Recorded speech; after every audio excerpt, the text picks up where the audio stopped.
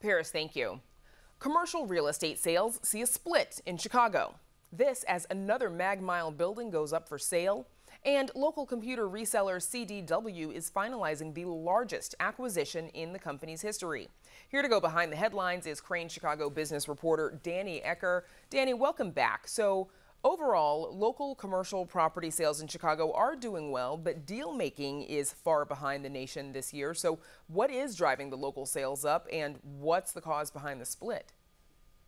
Yes, sales here were up about 7% year over year through August, and nationally it was 58%.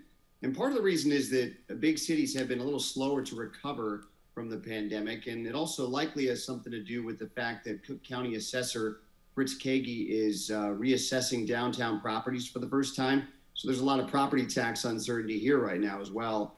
Um, the bulk of the sales we have seen have been from areas that have been generally safer bets in commercial real estate, which are warehouses, given there's so much demand uh, for places to store and distribute goods that are bought online, as well as apartments, because demand for apartments both downtown and in the suburbs has come back already to pre pandemic levels. So that's where a lot of the money has been flowing at a time when offices and hotels and shopping centers are uh, facing a much more blurry future. And so, speaking of commercial property sales, another Mag Mile building is up for sale. Which one is it, and what is going to be the impact to Chicago's central shopping district?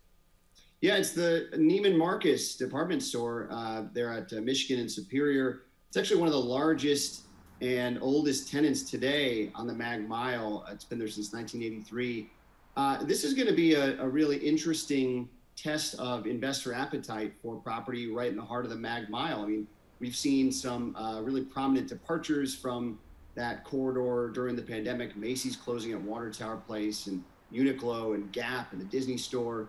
Uh, there are some big questions about what the future of this uh, of this really high-profile portion of the city is going to look like coming out of the pandemic. And we're going to see here who wants to bet on that future and at what price. So, uh, lastly, Lincolnshire based CDW has a deal to buy Sirius Computer Solutions. What is the significance of this deal? Right, CDW, uh, they've been around since 1984. This is the largest acquisition in its history. Um, it's a $2.5 billion deal. Sirius is based in Texas. Companies hire it to um, handle their IT infrastructure, things like cybersecurity and data management. Uh, CDW does that as well, of course, just at a somewhat larger scale. So this is going to create a, a, behemoth of that space. And CDW um, already has over 10,000 employees. Sirius has another 2,600. We don't really know yet whether that's going to mean job growth here in Illinois, but we'll see. Okay, something to keep an eye on for you for sure. Danny Ecker, thank you so much for joining us. Thanks, Brandis.